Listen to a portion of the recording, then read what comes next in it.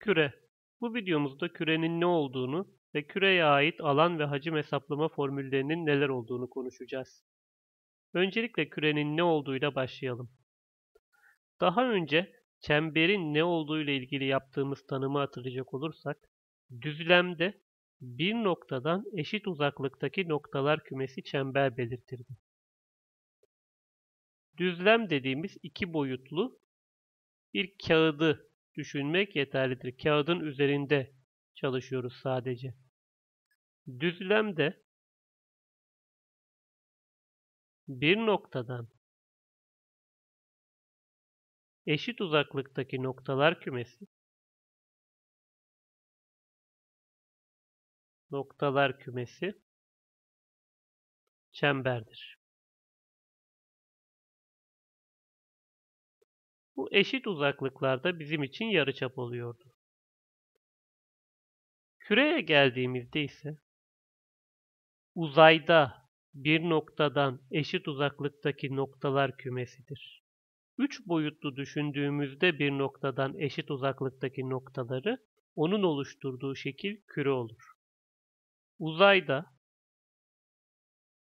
yani üç boyutlu düşünüyoruz işi. Bir noktadan eşit uzaklıktaki noktalar kümesi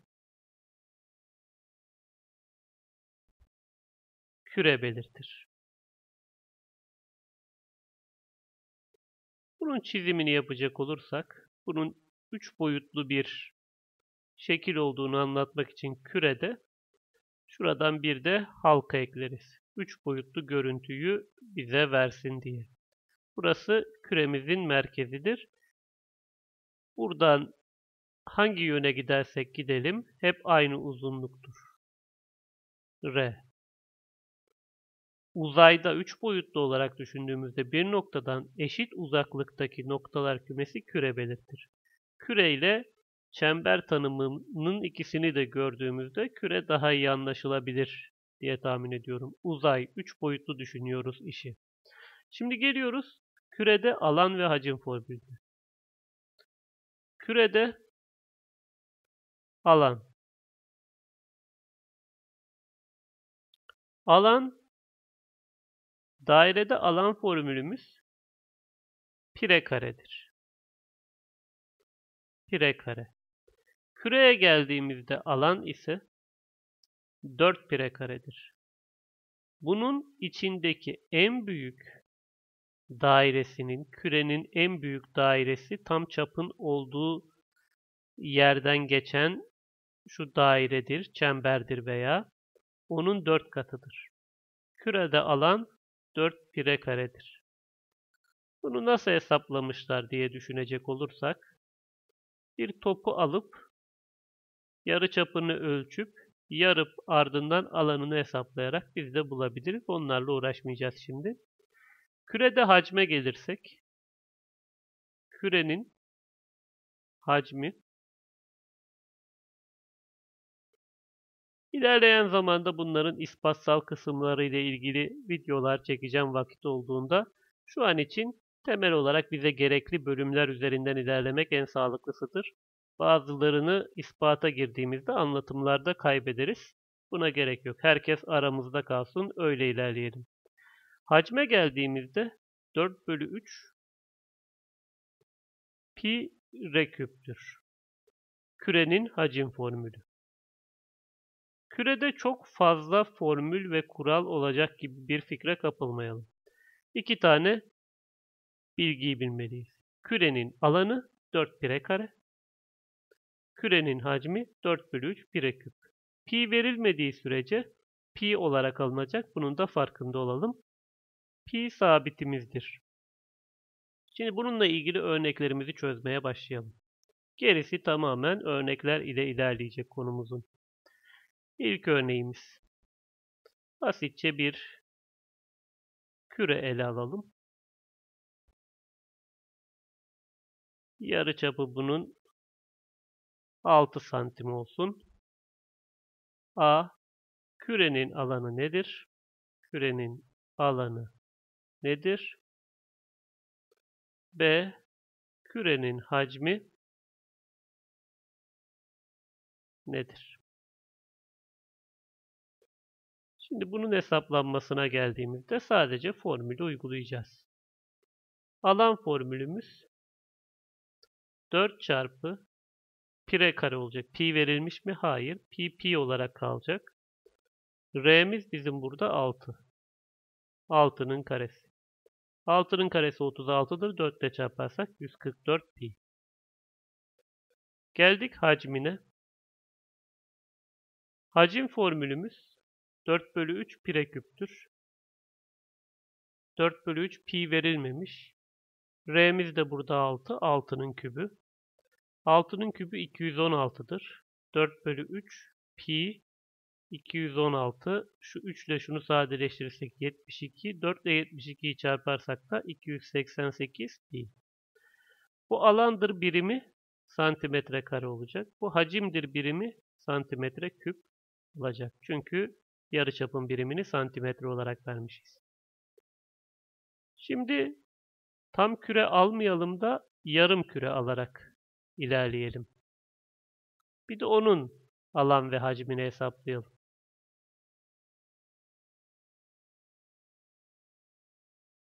Şöyle bir yarım küre ele alalım. Bunun yarıçapı da 4 santim olsun. Bu bir yarım küre. A. Alanı nedir? B. Hacmi nedir? Şimdi alana geldiğimizde burada kürenin tüm yüzeyinin alanının 4 pire kare ile hesaplandığını biliyoruz. Bu yarım küre olduğu için kürenin şu yüzey kısmının alanı 4 pire karenin yarısı olan 2 pire kareden gelecek. Fakat bu küre ortadan kesildiği için ekstra bir yüzey ortaya çıktı. Birçok kişinin bunun alanını hesaplarken atladığı bölüm bu ortaya çıkan yeni yüzdür. Buradaki yüzde bu direkt pire karedir. Yani 2 pire kare artı pire kare de buradan geliyor. 3 pire kare olur. Bunun yüzey alanı. 3 çarpı pi verilmemiş pi. R'miz 4, 4'ün karesi 16 çarparsak 48 pi santimetre kare. Bu iki pire kare bizim buradaki yüzeydi.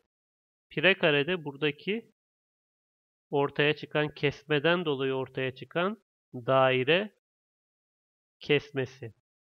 Gelelim B şıkkına hacim. Bu bizim normal küremizin hacminin yarısı olur. Yani 4 bölü 3 pi küp formülünü 2'ye böleriz. Çünkü bu yarım küre. 4 bölü 3 çarpı pi çarpı r'miz 4. 4'ün kübünü alırsak 64 bölü 2. Şu 2 ile şunu sadeleştirirsek 32. 32 ile 4'ü çarparsak 128 pi bölü 3 santimetre küp sorumuzun cevabı olur. Devam edelim örneklerimize. Hemen hemen her test kitabının vazgeçemediği soruyla devam edelim ki zamanında üniversite sınavında da sorulmuş bir sorudur. Bir küre merkezinden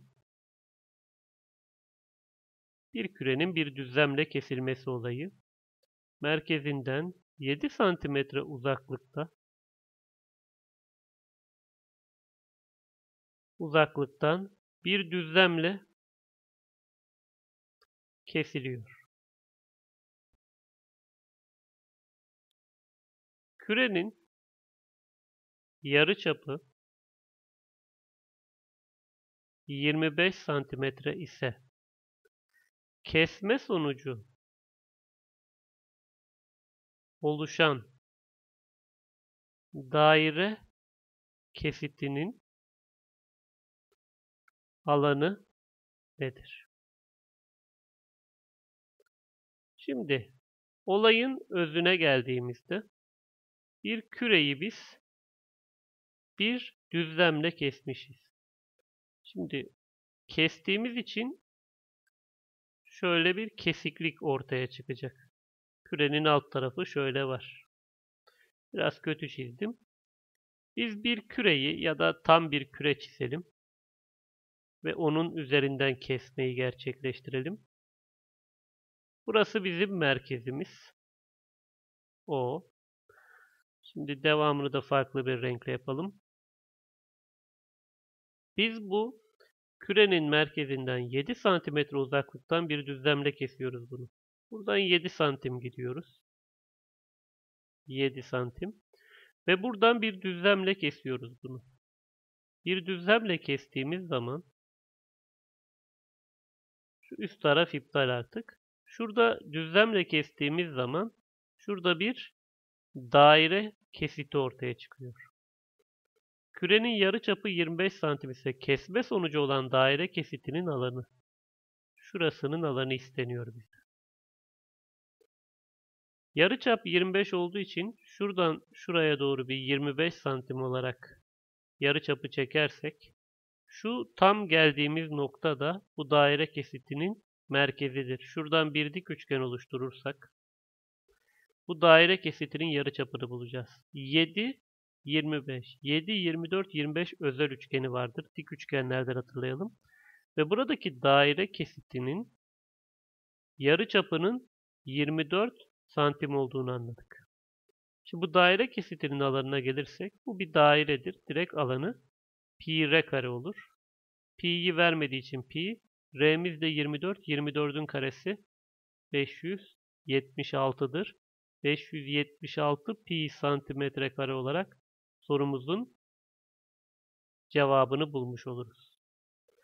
Bu şekilde bir kürenin merkezinden belli bir uzaklıkta düzlemle kestiğimizde bu kesitin alanını sorma kürede en klasik sorulardan birisidir.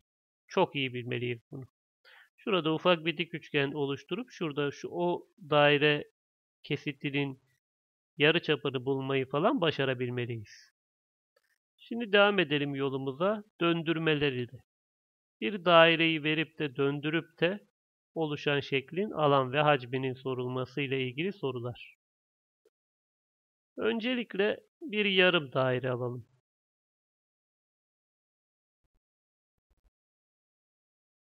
Bir yarım daire alalım. Yarıçapı 5 santim olsun. Şekilde verilen yarım daire. Verilen yarım daire. A. Çapı etrafında diyelim. Çapı etrafında. Şurada uzunlukta AB deyip AB etrafında da diyebilirdim. Onun çapı burada. Çapı etrafında 90 derece 180 derece C'de de 360 derece döndürelim. Döndürülmesiyle oluşan şeklin hacmi nedir?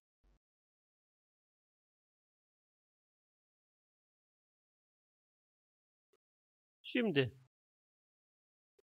biz bunu 90 derece döndürürsek ne oluşur? Bu yarım daireyi 90 derece döndürürsek ancak bir kürenin dörtte biri oluşur. 1 bölü 4 küre oluşur. 180 derece döndürürsek bu dönüp 180 derecelik bir alanı taradığı zaman yarım küre oluşur. 1 bölü 2 küre. 360 derece döndürürsek başladığı yere döner ve tam küre oluşur. Tam küre. Bütün işin özü budur. A şıkkında 1 bölü 4 diyeceğiz çarpı çünkü 4'te bir küre oluşuyor. 4 bölü 3 pire küp. Hacim formülümüz. 4 bölü 3 pi çarpı r'miz 5. 5'in kübü. 125. Şuradaki 4'ler birbirini götürür. 125 pi bölü 3 olur. B şıkkına geldiğimizde 1 bölü 2 çarpı 4 bölü 3 pire küp. Buradan da 250 pi bölü 3. C şıkkına geldiğimizde ise direkt 4 bölü 3 pire küp. 500 pi bölü 3 cevabımız olur. Yarım küreyi pardon yarım daireyi 360 derece döndürürsek tam küre oluşur. 180 dö- döndürürsek yarım, 90 döndürürsek 1 bölü 4 küre oluşur. Bunu algılayabilmemiz lazım. Burada da konuşmuş olduk. Şimdi çeyrek bir daire alalım ve onu döndürmeye bakalım.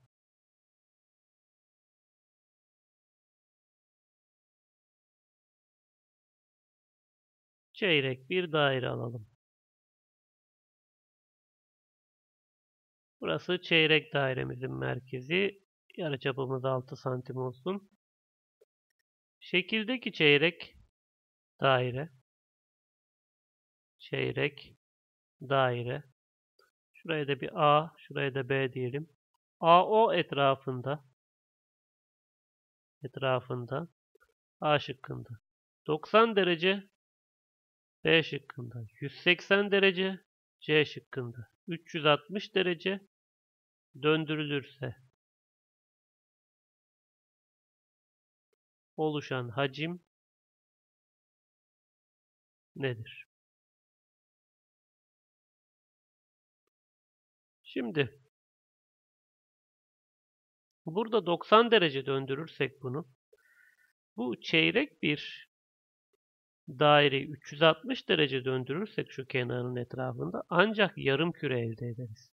O zaman 90 derece döndürürsek o yarımın da dörtte birini elde ederiz. Yani 1 bölü 8 küre. Bunu 180 derece döndürürsek 1 bölü 4 küre. Bunu 360 derece döndürürsek ancak yarım küre elde ediyoruz. Çeyrek daireyi bir yarı çapının etrafında döndürerek tam küre elde etme şansımız yok. En fazla yarım küre elde edebiliyoruz 360 döndürdüğümüz. A şıkkıyla başlayalım hesaplamaya. 1 bölü 8 çarpı 4 bölü 3 pi r küp 6'nın kübü 216'dır. Şununla şu 2 kaldı. Şununla da şu gitti. 128. Cevabımız 128 pi bölü 3. B şıkkında aynı şeyi 1 bölü 4 yapacağız. 1 bölü 4 çarpı 4 bölü 3 pi R'miz zaten 6. 6'nın küpü 216. Bunlar gitti. 216 da 3'e bölünür. 72 pi etti bunun sonucu. Bir yerde bir arızam var. Az öncekinde çok kötü sallamışım burada sadeleştirmeyi. 216'nın yarısı 108 eder. Burası da 108 pi bölü 3. 3'e bölersek 36 pi. Burası 72 pi çıktı. 12 katı olacak zaten. C şıkkında da 1 bölü 2 ile çarpacağız. 1 bölü 2 çarpı 4 bölü 3 pi. R küpümüz 216. Şununla şu gitti. 2. Şununla şu 72. 144 pi. Bu yarım daire ve çeyrek dairenin döndürmesiyle ilgili fikirleri de oldukça iyi bilmeliyiz. Şimdi devam ediyoruz. Kürede bir klasiğe geleceğiz şimdi. Şu ayarı bir düzeltelim. Klasik olan şey nedir? Kürenin içine küp, küpün içine küre. Önce küre içine küple başlayalım. Yarıçapı 6 santimetre olan küre içine çizilebilecek en büyük küpün hacmi nedir? Şimdi yarıçapı 6 santimetre olan küreden bahsediyoruz. Bir küre çizelim. Şimdi bunun 3 boyutlu olduğunu göstermek için derinliğini de versek mi? Şimdi onunla uğraş. Hadi uğraşalım. Şöyle yarı çapımızda 6 santim. Küre içine çizilebilecek en büyük küpten bahsediyoruz. Buradaki önemli olan hikaye ne? Bunun içine şimdi küpü yerleştirmekle epey zorlanırız. Şöyle şöyle bu ön görünen taraf olsun. Arka tarafa da bu derinlik şöyle gidecek işte diğer taraftaki yüzeyle temas edecek. Şöyle bir çizim. Hikayenin özü şu. Bir kürenin içine küp yerleştiriyorsak kübün cisim köşegeni kürenin çapına eşittir. Şimdi bunu görsel olarak mükemmel bir çizim yapamıyorum iki boyutta. O nedenle şunu bileceğiz. Küre içine küp çiziyoruz ve küp en büyük olacak. Kübün cisim köşegeni kürenin çapına eşittir. Küpte cisim köşegeni a kök 3'tür. Bir kenarının kök 3 katı. Kürenin çapına eşit. Kürenin yarı çapı 6 ise çapı 12'dir. Bunu bu tarafa bölü olarak geçirirsek 12 bölü kök 3. Eşlenikle çarparsak 12 kök 3 bölü 3'ten 4 kök 3 santim. Kübün bir kenarı. Kübün hacmi nedir? Kübün hacim formülü a küptür. Yani bir kenarının kübü. Bunun kübünü alırsak 4'ün kübü 64. Kök 3'ün kübü 3 kök 3 çarparsak 192 kök 3 santimetre küp olarak hacmi buluruz. Bir kürenin içine küp yerleştirilirse bu küp en büyük olacaksa olabileceği en büyük uzunluk durumunda, en büyük kenar uzunluklarına sahip durumda kübün cisim köşegeni kürenin çapına eşit olur.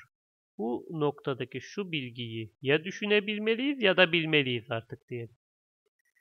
Gelelim şimdi kübün içine küre. Bu nispeten daha kolay.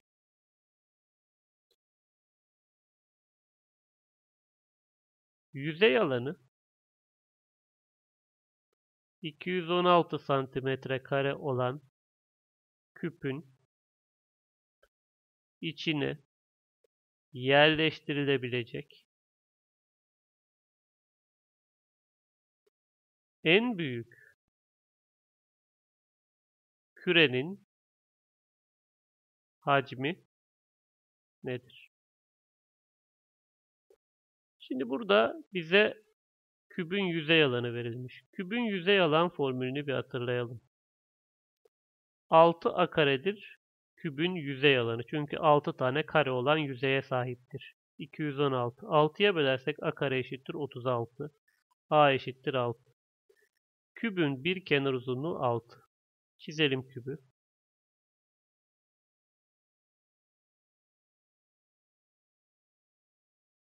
Bir kenar uzunluğumuz 6. İçine yerleştirilebilecek en büyük kürenin hacmi. Bunun içine yerleştirilebilecek en büyük küre bu kenarlara şöyle temas edecek şekilde şöyle bire her kenara temas edecek şekilde teğet biçimde çizilen küredir. Onu da şimdi 3 boyutlu kısmını vermiyorum. Buradaki hikaye kürenin çapı kübün kenar uzunluğuna eşit olmalıdır. Kürenin çapı kübün kenarına eşittir. Kübün kenarı 6 ise kürenin çapı da 2R, R eşittir 3. Kürenin yarı çapına ulaştık. Kürenin hacmi sorulmuş. 4 bölü 3 pire küp. 4 bölü 3 pi R'miz 3 zaten kübünü aldık 27 sadeleştirdik 9 çarptık 36 pi santimetre küp. Sorumuzun cevabı. Olayın özünde şunun farkında olmalıyız. Kürenin içine kübü yerleştiriyorsak kübün cisim köşegeni kürenin çapına eşittir.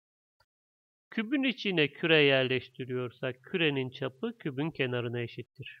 Kafamıza net olarak yerleştirmemiz gereken iki fikirdir bu. Ve bu videomuzda son bir örnek daha yaparak videomuzu noktalayacağız.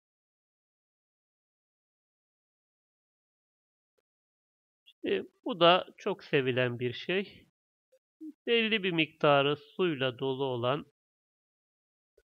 bir kap verilir. Kabın içine de küre bilyeler atılır. Su ne kadar yükseldi gibi şeyler sorulur bize. Burası 8 santim olsun. Şurası 6 santim olsun. Şurada da 2 santimetre yüksekliğinde su olsun. Hadi şunu da şöyle bir görsellik verebileceğiz mi bakalım. Oldu gibi. 2 santimetre yüksekliğinde su var. Şu yukarı doğru da 3 santim olsun. Şimdi hikayeyi anlatmayayım işte. Bir dikdörtgenler prizması içinde 2 santimetre yüksekliğinde su var. Bu kabın içine 2 santimetre yarı çaplı 2 santimetre çok oluyor. 1 santimetre diyelim. 1 santimetre yarı çaplı küre atılırsa küre bilye diyelim de battığı anlaşılsın. Ya bu küre tamamen batacak. Burada da birazcık fizik bilgisi geliyor. Batan cisimler batan cisimler kaldırma kuvvetiyle ilgili bir fikirdir bu. Batan cisimler hacimleri kadar kadar sıvı taşırırlar diyelim. Yani bu tamamen dolu bir kabın içine atsaydık bir cisim batıyorsa hacmi ne kadarsa o kadar sıvıyı taşırabiliyor. Hikayenin özü bu. Bunun hacmi neyse o kadar hacimsel yukarı doğru artış olacak. Bu kabın içine 1 santimetre yarıçaplı küre bilye atılırsa suyun yüksekliği ne kadar artar? Veya son yüksekliği de sorabilirdim. Burada yapacağımız düşünce şu olacak. Kürenin hacmi buradaki dikdörtgenler prizmasındaki sıvının yükselmesiyle oluşan hacme eşit olacak. Sıvının yüksekliği şöyle bir miktara gelecek. Biz ne kadar suyun yüksekliği artar. Yani sadece ki buradaki h'ın değişimini istiyoruz. Suyun son yüksekliği ne olur diye sorsaydım 2 artı h isteniyor olacaktı. Kürenin hacmi 4 bölü 3 pi r küptür. R'miz burada 1. 1'in kübü. 4 bölü 3 pi küre hacmi. Bu buradaki yükselmedeki hacmi eşit olmalıdır. Buradaki şu yükselen bölümün hacmi, onun kenarı şurada 8, şurada 6. 6 çarpı 8 çarpı h'tır. Dikdörtgenler prizması hacmi. 6, 8, h'ın çarpımı buna eşit olacak. h çarpı 6 çarpı 8 eşittir 4 bölü 3 pi. Bunu da bölü olarak göndersek şunları hadi sadeleştirelim. 2 h eşittir pi bölü 3 var. 12 daha geldi. Pi bölü 36. Yani buradaki suyun yüksekliği pi bölü 36 santim yükselir.